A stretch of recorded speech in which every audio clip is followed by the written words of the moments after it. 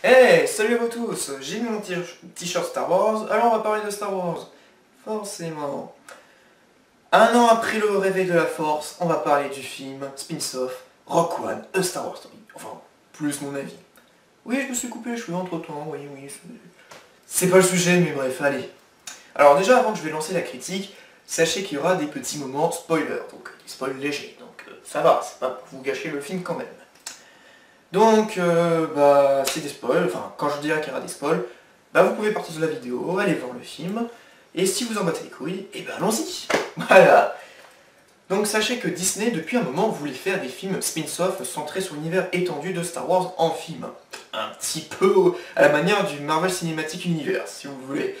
Voilà. Et c'est donc chose faite en 2015 dans la Star Wars Celebration à IM en Californie, que le premier d'entre eux a été officialisé, à savoir Rock One. Le casting et le scénario a été dévoilé, donc le scénario c'est comment les rebelles ont pu voler les plans de l'étoile de la mort avant l'épisode 4, parce que oui, ce film se situe entre la revanche et un nouvel espoir, et non pas la suite du réveil de la force, ce qui est totalement débile, mais bon, faut savoir se renseigner, quand même. Euh, du, coup, Disney a choisi comme réalisateur le britannique Gareth Edwards, qui a déjà fait un blockbuster auparavant, à savoir Godzilla. Je sais qu'il y en a peut-être pas qui l'ont aimé, mais moi je l'ai aimé, mais il a des défauts majeurs. Et auparavant, il a également fait un film indépendant, Monster. Quand même rien que ça. Donc oui, il sait faire, il sait des, des scènes d'action et développer ses personnages. Sauf peut-être dans Godzilla. Mais bon, il s'est amélioré depuis. Heureusement. Alors, je vais quand même faire un tour sur les personnages et les acteurs. Alors, c'est parti. Notre héros principal est Jin Erso, joué par Feisty Jones. Alors, je sais qu'il y aura... Enfin, non, je sais... Bah oui, je sais qu'il y aura des petits cons de misogynes qui vont dire Eh, mais ouais, encore des femmes euh, principales, c'est nul, c'est chiant. Déjà, ta gueule ah bah, ah bah, oui, désolé, mais c'est comme ça. Bah, tout simplement parce que euh, faut peut-être arrêter de voir du sexisme et tout ça partout faut juste rééquilibrer un petit peu les choses. C'est juste la deuxième héroïne principale dans Star Wars après Rey quand même. Sinon le reste c'est que des personnages masculins qu'on adore, genre Dark Vador, Luke Skywalker, Han Solo, euh, Yoda, Obi-Wan, Amiral Thrawn, enfin merde quoi. c'est juste arrêter. Bon bref, je vais pas revenir dessus. Donc, Jyn Erso c'est un petit peu le personnage euh, un petit peu qu'on revoit, ça veut dire le personnage qui fuit ses responsabilités, euh, qui veut retrouver son père, parce qu'il détient des choses importantes, qu'elle veut absolument détruire l'étoile de la mort, et qu'elle doit se faire aider par les rebelles, même si elle trouve un petit peu leur technique un petit peu extrémiste, un petit peu, voilà, mais qu'elle va quand même se battre contre l'Empire, c'est déjà une bonne chose. Et bon, c'est un personnage euh, bah, qui a du courage, oui, et, qui va accomplir son objectif, voilà. On ne cherche pas le personnage qui va trouver la rédemption ou quoi que ce soit, non. Voilà, c'est juste le, c'est juste l'héroïne qui veut juste retrouver son papa et bah botter le cul à l'Empire. Rien que ça quoi. Bref. Ensuite nous avons le capitaine Casian Andor, joué par Diego Luna. Euh, lui c'est genre le héros basique. Voilà, c'est le rebelle qui a confiance en lui, qui sait diriger une équipe, qui est prévoyant, qui sait se battre, qui arrive à trouver l'amour, quand même.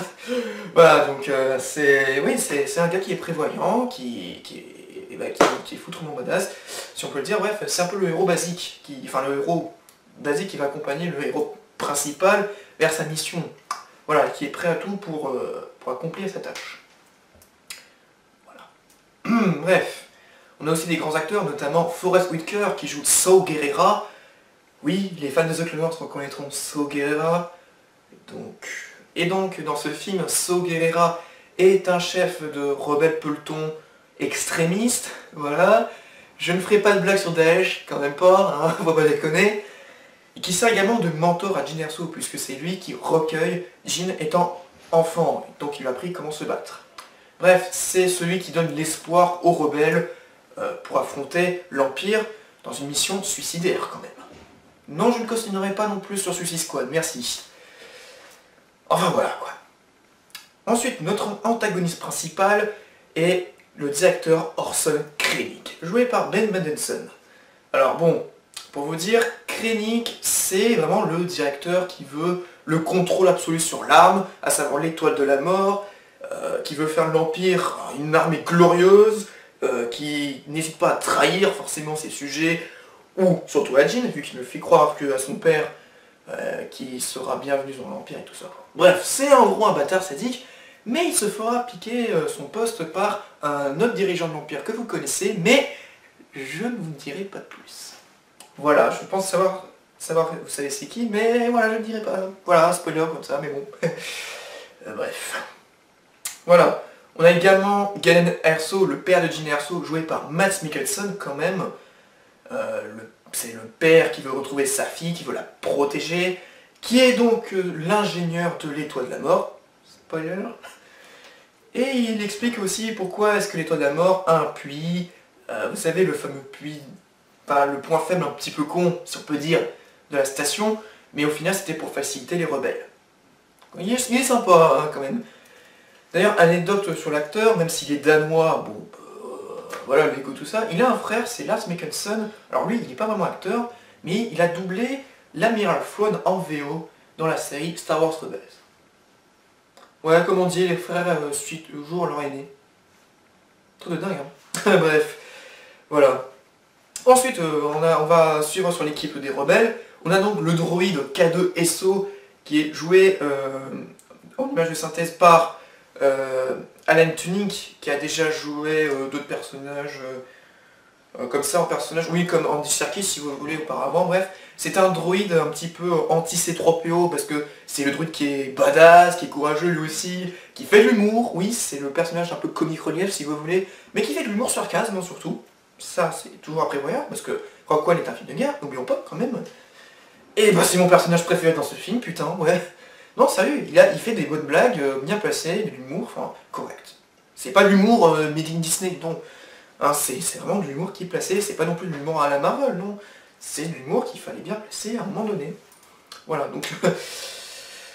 bon, après, sinon, c'est droïde qui arrive à s'infiltrer euh, dans l'Empire, tout ça. Bon, bref, c'est un ancien droïde impérial, si vous voulez, qui a été reprogrammé. Mais bon, bref, donc c'est un personnage, lui aussi, plutôt important. On a également Shiryu Imwe, joué par Ip Je voulais dire Donnie Yen, voilà, Ip quoi. Euh, donc euh, Ip version Star Wars, donc euh, Shiryu Imwe c'est le sage, oui alors c'est le cliché sage asiatique qui sait se battre même étant aveugle quand même. donc c'est un moine en fait Jedi entre guillemets parce qu'il ressent la force en lui quand même pour moi, la force sera toujours mystique. La preuve, même dans ce film, on renforce le, côté mystique de la force. Oui, je m'en fous, les midi-chloriens n'existent pas pour moi, ok? Voilà, la force est toujours mystique, je m'en fous, voilà. C'est assumé comme ça, bref. Donc voilà, donc on suit vraiment un, combattant euh, hors pair, euh, aveugle certes, mais vraiment euh, quoi. Euh, qui arrive à donner de la foi quand même au personnage, et qui est religieux, ouais, mais voilà, quoi, c'est un moine, finalement, c'est... Voilà.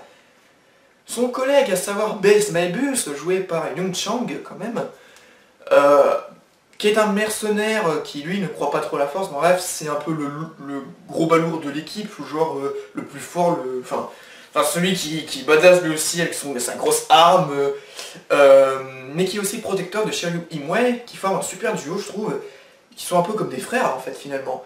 Donc voilà, Besmabus qui est lui aussi attachant, enfin qui est un rebelle, euh, voilà. c'est costaud, il faut pas l'emmerder, de toute façon, c'est tuer ses ennemis comme il veut. Voilà. Et ensuite on a euh, Body Rock, joué par Riz Ahmed, c'est dit bien comme ça, ouais, euh, qui est un ancien pilote impérial qui a déserté quand même, parce qu'il bah, n'aime pas l'Empire, après tout, c'est un petit peu le personnage un peu timide, qui n'aime pas trop euh, se battre, mais qui va quand même le faire parce qu'il est courageux, il fait ça pour la rébellion quand même. Euh, c'est aussi l'intello du groupe, parce qu'il a des codes informatiques, il, sait brancher des trucs, il sait piloter, enfin... Enfin voilà, il connaît des trucs euh, que les rebelles ne savent pas, voilà, pour ça qu'il est un personnage essentiel dans le film. Voilà. Du coup, on a une bonne poignée de rebelles plutôt attachants, je le trouve. Et bien sûr, le meilleur pour la fin, Dark Vador. Putain, je suis content de le revoir après 10 ans, 11 ans. Enfin bref. voilà. Donc avec, son doubleur éternel, James Earl Jones, quand même. Alors par contre, je ne sais pas qui joue euh, Dark Vador, ce n'est plus David Prose, parce que il est vieux quand même, il n'est pas mort, mais il est vieux quand même, le pauvre. voilà. Et Vador, alors, spoiler, Voilà, donc dégagez la vidéo. Euh, effectivement, il a, pas beaucoup de scènes, forcément, attendez pas qu'il a beaucoup d'apparitions, non. Il vole un petit peu la vedette d'Acrylink, c'est sûr, mais il lui fait quand même un peu la morale, parce que lui, il est pas là pour rigoler, quoi que ce soit. C'est forcément le Vador euh, méchant, euh, qui, est là pour étrangler, enfin, pas là étrangler, enfin si, il étrangle ses sujets s'ils font chier, quoi. mais qui est là pour régner l'Empire avec une poignée de fer, enfin, c'est vraiment le Dark Vador qu'on connaît, mais euh, foutrement en classe quand même. Et spoiler, je le redis quand même au cas où si vous n'êtes pas parti, bon, vous êtes prévenus, il a une scène d'action à la fin Voilà, il débote du rebelle à la fin. C'est vraiment la scène culte pour moi du film. Euh, ouais, il n'y a pas à dire, wow, Vador, ouais. Par contre, vu que j'ai vu le film en VF, oui, oui, euh, oui, le film en VO aurait été mieux. Alors, la VF est potable, hein, au passage, ça va, mais Aïe La nouvelle VF de Vador. Dommage pour le regretter Georges Aminel, qui est mort il y a quelques années, qui a fait Vador, Empire contre-attaque, Retour Jedi et La Revanche. Non, c'était un autre doubleur dans, la nouvelle histoire. Mais bon, voilà. Donc ensuite, alors, du coup, le film. Alors le film ne se concentre pas que sur l'étoile de la mort. Enfin, si, mais disons que le film a aussi tout un autre symbolique. Déjà, c'est un film de guerre, qu'on se concentre sur la guerre essentielle. Car il ne faut pas oublier que dans Star Wars, on suit principalement la famille Skywalker, les Jedi et tout ça. La guerre est plutôt secondaire, j'ai trouvé. Donc, pourquoi pas un film sur un conflit qui fait rage entre l'Alliance Rebelle et l'Empire, justement. Un film donc de guerre, euh, où il y a des morts, des blessés, des, trucs euh, pas beaux, voilà, des combats. Alors oui, vous aurez des combats à volonté dans ce film, des combats spatials et des combats terrestres. Moi, pour ma part, c'est les combats spatials que j'ai vraiment kiffé. Euh, c'est ce que je kiffe en fait dans Star Wars, c'est les combats spatials, quoi. Les vaisseaux qui sont toujours bien orchestrés au balai, euh, qui font piou piou comme ça, euh, qui, on y plonge dedans. Les combats terrestres sont bien aussi, hein, mais ouais, il a pas à dire, ils sont bien aussi. quand même. Voilà, il y a quand même une forme symbolique, parce qu'après tout, l'étoile de la mort, bah oui, c'est la bombe atomique qu'on veut pas recevoir dans la gueule, donc euh, forcément dénonciation de l'arme atomique des Américains et du monde entier, hein, faut pas oublier que la France est inclue dedans, c'est toujours plaisir à prendre. Euh, et que bah, c'est quand même grâce euh, au plan de l'étoile noire qui va, la mort quand même, qui va pousser Luke à devenir le Jedi qu'on connaît après tout. Là on retrouve pas mal de symbolisme, notamment la religion qui est quand même plutôt impliquée cette fois-ci via par exemple des lieux de culte, notamment par exemple la planète Jedi, par exemple, euh, voilà, la guerre, la religion, tout ça, enfin, enfin voilà, dans un Star Wars qu'on retrouve. Donc oui, j'ai vraiment aimé le film, j'étais complètement dedans même.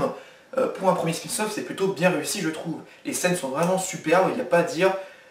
J'avais oublié également la musique, oui, donc euh, composée par Michael Giacchino, euh, qui était le compositeur principal de J.J. Abrams. Oui, le mec a fait Star Wars 7, voilà, euh, qui a fait de très belles musiques. Il a repris quelques notes de John Williams quand même, mais il a fait plutôt de belles musiques, euh, voilà, qui je pense pourront graver dans la tête. Ou pas, je sais pas. Voilà. bref.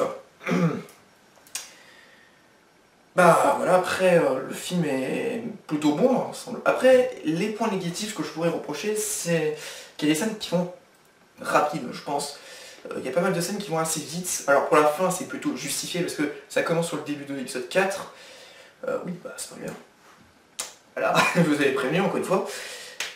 mais aussi il y a des scènes qui vont mal coupées. Il y a par exemple une, scène par exemple sur Jeddah où il y a la baston donc, entre les impériaux, les insurgés de Jeddah euh, K2SO, Jinerso et Cassian d'Or. Et à un moment, tu as un attesté justement qui arrive euh, au combat, mais on sait pas ce qu'il devient attesté. On voit pas une scène où il se fait détruire ou quoi que ce soit, où il se met en, état de nuire. Enfin, à moins que j'ai dû cligner les yeux. Voilà, j'ai pas souvenir qu'il a été détruit ou quoi que ce soit.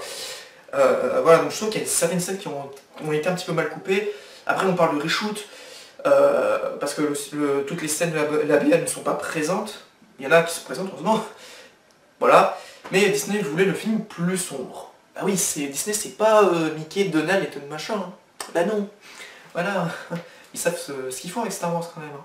Heureusement, hein, parce que sinon... Euh, voilà. Et puis, bah, le film est une sorte de préquel, puisque ça racontera sur les futurs événements de l'épisode 4. J'ai même envie de dire, c'est un meilleur préquel que la trilogie. Ouais, allez, je suis comme ça, j'attaque la trilogie. Chacun son avis. Voilà. Donc, euh, après, la boucle est bouclée. Voilà, vers la fin, par exemple, qui franchement est superbe. La, fin est vraiment bien bouclée sur, ce coup-là. voilà, donc je ne peux que vous conseiller d'aller voir ce film. J'espère qu'il bah, aura un très bon box-office mérité. Quand même. Mérité, j'espère. Allez voir le film, voilà, je vous le conseille. Il n'y a pas de souci. Euh, voilà. Bon bref, bah c'est tout pour ma critique du coup. Si tu as aimé la vidéo, tu peux mettre un pouce bleu. Euh, dans les commentaires si tu veux, tu peux aussi mettre ton avis sur le film. Alors faites gaffe comme au spoil, ce serait sympa pour ceux qui n'ont pas vu le film. Euh, parce qu'il y a une multiple de références de l'épisode 4. Donc voilà. Si tu veux me soutenir, tu peux t'abonner à ma chaîne juste ici. Voilà, ça serait super. Enfin, super. D'avoir autant de soutien, oui également sur, sur Twitter et sur Google+. Voilà, je crois que j'ai fait à peu près tout le tour. Euh, voilà, c'était un bon film. Voilà, conclusion, bon film. Euh, bon Star Wars.